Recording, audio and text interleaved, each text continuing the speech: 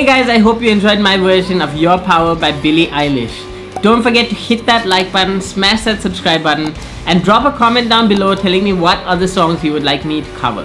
And I shall see you guys in the next video.